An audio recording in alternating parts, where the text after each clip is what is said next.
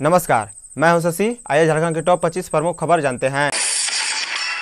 नई उद्योग नीति को कैबिनेट की मंजूरी, पाँच लाख रोज़गार का लक्ष्य। झारखंड में पाँच लाख लोगों को रोज़गार और एक लाख करोड़ के निवेश का लक्ष्य रखकर बनी झारखंड औद्योगिक एवं निवेश प्रोत्साहन नीति 2021 को मंत्रिपरिषद की बैठक में मंगलवार को मंजूरी दे दी गई है।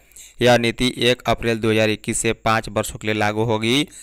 नई नीति में पाँच सेक्टरों, textile and apparel, automobiles, auto components and electrical vehicle, agro food processing and meat processing industry pharmaceuticals और electronics system design and manufacturing पर सर्वाधिक फोकस किया गया है।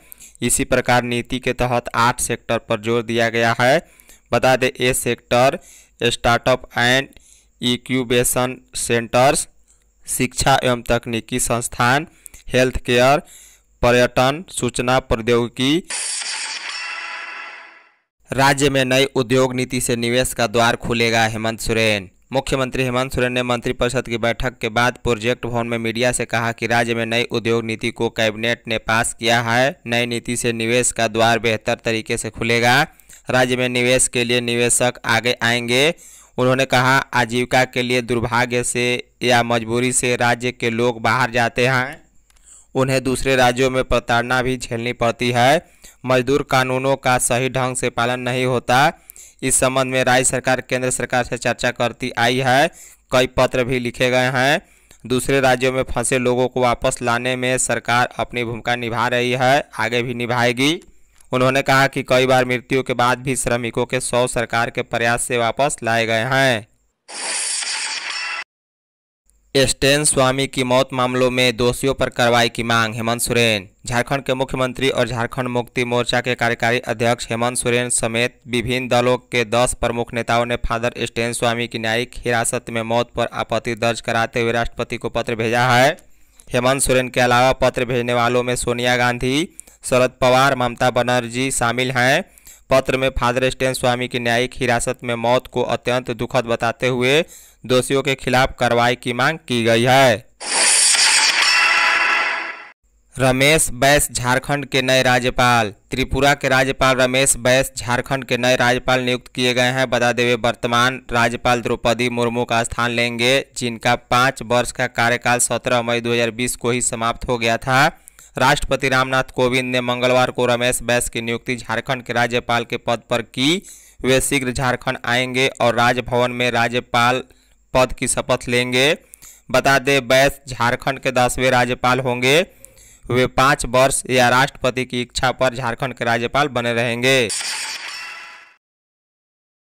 झारखंड ने केंद्र से मांगे 10 आईपीएस ऑफिसर्स, नक्सलियों का होगा सफाया। झारखंड में भारतीय पुलिस सेवा के पदाधिकारियों की कमी को देखते हुए सिविल सेवा परीक्षा 2020 के माध्यम से चयनित 10 भारतीय पुलिस सेवा के पदाधिकारियों का आवंटन झारखंड राज्य संवर्ग में करने के लिए गृह मंत्रालय भारत सरकार से अनुरोध करने के प्रस्ताव पर मुख्यमंत्री हेमंत सोरेन ने अपना अनुमोदन दे दिया है। आपको बता दें कि भारतीय पुलिस सेवा के पदाधिकारियों की कमी से जूझ रहे झारखंड में उग्रवाद उन्मूलन को लेकर आईपीएस अधिकारियों की मांग की गई है।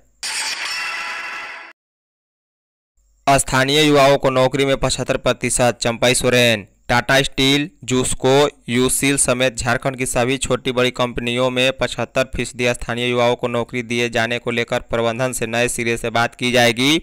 उक्त बातें कल्याण मंत्री चंपाई सोरेन ने सोमवार को शाम श्री सोरेन से तीन विधायकों व पार्टी नेताओं, कार्यकर्ताओं के साथ नियोजन समेत अन्य मुद्दों पर जमशेदपुर सर्किट हाउस में बातचीत की। 25 जुलाई से शुरू हो रहा सावन।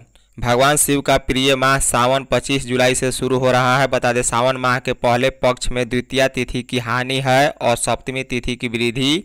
इस कारण से यह पक्ष 15 दिनों का है।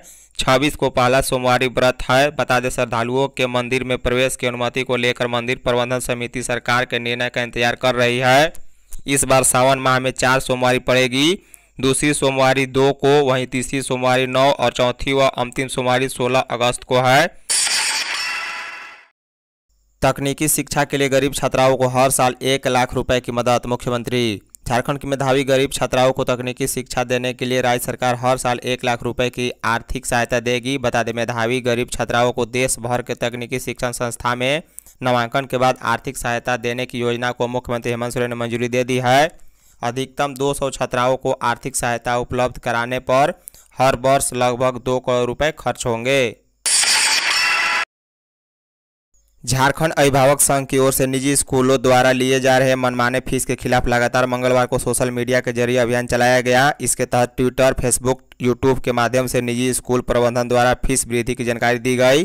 साथ ही ट्विटर के ज़रिए सीएम को टैग कर voice against school fees tweet और रिट्वीट कराकर सरकार का ध्यान आकृष्ट कराते हुए हस्तक्षेप करने की मांग की गई। अभिभावकों ने अपने अपने घरों से प्ले कार्ड के माध्यम से मौन धारणा भी दिया झारखंड में पचपन नए केस मिले हैं, जो रांची से पाँच, पूर्वी सिंहभूम सत्रह, बोकारो छः धनबाद दो, रामगढ़ तीन, कोडारमा तीन, पलामू एक, देवघर दो, गुमला दो, लातेहार पाँच जामतरा पाँच, साहिबगंज से चार मिले हैं। झारखंड में कुल मौत की संख्या इक्यावन सौ अठारह है। वहीं कुल एक्टिव केस की संख्या पाँच सौ पचपन है। भारत में तैंतालीस हज़ार नौ सौ संतावन नए केस मिले हैं। भारत में कुल एक्टिव केस की संख्या चार लाख चौवन हज़ार पाँच सौ सोलह है। झारखंड में एक्टिव केस इस प्रकार हैं। रांची अस्सी, पूर्वी सिंहभूम अंठावन, हजारीबाग सोलह, बोकारो तीस, धनबाद बाईस, रामगढ़ छः पश्चिमी सिंहभूम पंद्रह, कोडरमा बाईस, पलामू बारह, देवघर इकतीस गुमला अट्ठाईस, गिरिडीह आठ, लातेहार सत्रह खूंटी नौ, सरायकला खरसवा अठारह, सिमडेगा अठहत्तर, गढ़वा दो, लोहरदागा नौ, चतरा तेरह, गोड्डा सात जामतरा छब्बीस, साहेबगंज तेईस, दुमका चौबीस, पाकुड़ में एक मरीज़ एक्टिव हैं। रांची में खरीफ फ़सल के लिए पैंतीस हज़ार मीट्रिक टन यूरिया।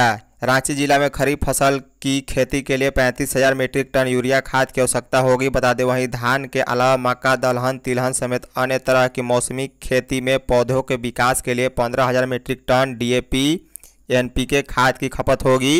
रांची के लिए अभी उर्वरक को यूरिया का करीब दस हज़ार मीट्रिक टन और डीएपी का छः हज़ार मीट्रिक टन का ऑनलाइन भंडारा है। रांची के जंगल में मिली भारत की पहली लेडी वर्ग मिमिक स्पाइडर। झारखंड के रांची स्थित नामकुम के जंगल में नई प्रजाति की मकड़ी मिली है। बता दें, इस प्रजाति की मकड़ी भारत में और कहीं नहीं है। अब जीव वैज्ञानिक इस पर शोध करने में जुट गए हैं। बता दें, इस मकड़ी को वन्य प्राणी विशेषज्ञ सुनील कुमार ने अपने कैमरे में कुछ दिन पूर्व कैद किया था। जीव वैज्ञानिक डॉक्टर मिथिलेश दत्त द्विवेदी ने बताया कि मकड़ी की यह प्रजाति भारत में पहली बार मिली है। उन्होंने बताया कि इसकी पुष्टि मकड़ियों पर शोध कर रहे महाराष्ट्र के डॉक्टर बोकड़े ने भी की है। तिलैया अल्ट्रा मेगा पावर फिर से स्थापित करने की तैयारी। बिजली के क्षेत्र में आत्मनिर्भर के प्रयासों की कड़ी में Tilaiya ultra mega power plant स्थापित करने की प्रक्रिया फिर से आरंभ की जा सकती है। बता दें, पूर्व में इसके लिए हुए करार को पूरा नहीं कर पाने के कारण तत्कालीन राज्य सरकार ने रिलायंस पावर के साथ समझौता को रद्द कर दिया था। यह 4000 megawatt integrated thermal power project है, जिसका अधिष्ठापन केंद्रीय ऊर्जा मंत्रालय के प्रावधानों के अनुरूप दो बिल्डिंग में किया जाना है। शिक्षक संघ ने भी की मोबाइल दान करने की अपील। गरीब बच्चों को ऑनलाइन शिक्षा में मदद पहुँचाने के लिए पुराने मोबाइल, लैपटॉप, कंप्यूटर आदि दान करने की पुलिस महानिदेशक की अपील का समर्थन शिक्षक संघ ने भी किया है। अखिल झारखंड प्राथमिक शिक्षक संघ के प्रदेश अध्यक्ष विजेंद्र चौबे, महासचिव राम मूर्ति ठाकुर व मुख्य प्रवक्ता नसीम अहमद ने कहा कि पुलिस महानिदेशक द्वारा गरीब बच्चों के लिए लोगों से पुराने मोबाइल, कंप्यूटर, लैपटॉप और अन्य डिजिटल डिवाइस दान करने का संघ ने स्वागत करते हुए शिक्षकों सहित सभी लोगों से इसकी अपील की है। झारखंड के खेतों में मिनी ट्रैक्टर चला रही महिला कृषक। कृषि क्षेत्र में महिला समूह की भागीदारी बढ़ाने की राज्य सरकार की पहल रंग ला रही है। इस कड़ी में महिलाओं के स्वयं सहायता समूह के बीच मिनी ट्रैक्टर और पावर ट्रिलर के वितरण की शुरुआत हुई है। बता दें, बीते दिनों विभिन्न जिलों के एसएचजी को मिनी ट्रैक्टर और पावर ट्रिलर प्रदान किया गया। सरकार का यह कदम महिला सशक्तिकरण को बढ़ावा देना तो है ही, साथ ही यह कदम कृषि क्षेत्र में क्रांतिकारी कदम साबित हो रहा है। झारखंड में बिरसा किसान के नाम से जाने जाएँगे किसान। झारखंड सरकार झारखंड के प्रत्येक किसानों को एक विशिष्ट पहचान देगी। इस पहचान के तहत किसानों की एक यूनिक आईडी बनाई जाएगी, जो आधार से जुड़ा होगा। बता दें, राज्य सरकार का मकसद इस विशिष्ट पहचान के ज़रिए राज्य के करीब 35 लाख किसानों का एक डाटाबेस तैयार करना है, जिसमें उनसे जुड़ी पूरी जानकारी संग्रहित की जाएगी। यूनिक आईडी को बिरसा किसान का नाम दिया जाएगा। राज्य सरकार की कोशिश रबी फ़सल से पूर्व दो लाख से अधिक किसानों को नई पहचान देने की है। नवंबर तक चलेगी पीएमजीकेए योजना। कोरोना की दूसरी लहर आने के बाद जरूरतमंदों की मदद के लिए केंद्र सरकार ने प्रधानमंत्री गरीब कल्याण अन्न योजना को जारी रखने का फैसला किया है। अब यह योजना के तहत इस साल नवंबर तक गरीबों और ज़रूरतमंदों को अनाज वितरित किया जाएगा। केंद्र सरकार ने इस योजना का नाम प्रधानमंत्री गरीब कल्याण योजना रखा है। रजरप्पा मंदिर खुलवाने को लेकर उपवास बैठे भाजपा। झारखंड के रामगढ़ जिला अंतर्गत रजरापा मंदिर खुलवाने की मांग को लेकर मंगलवार को भारतीय जनता पार्टी के कार्यकर्ताओं द्वारा एक दिवसीय उपवास कार्यक्रम का आयोजन किया गया।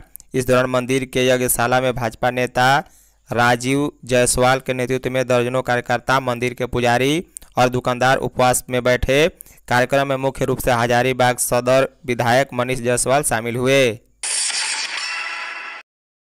हरा राशन कार्ड के लिए रांची में 8 और 9 जुलाई को स्पेशल कैंप। झारखंड राज्य खाद्य सुरक्षा योजना के तहत रांची जिला में हरा राशन कार्ड के लिए विशेष शिविर लगाया जा रहा है। बता दें, सभी प्रखंडों में 8 और 9 जुलाई को इस विशेष शिविर का आयोजन किया जाएगा।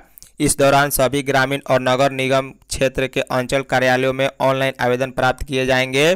ग्रामीण क्षेत्रों के सभी प्रखंड मुख्यालय में 8 जुलाई 2021 और रांची नगर निगम क्षेत्र के सभी अंचल कार्यालयों में 9 जुलाई 2021 को स्पेशल कैंप का आयोजन किया जाएगा। धन्यवाद।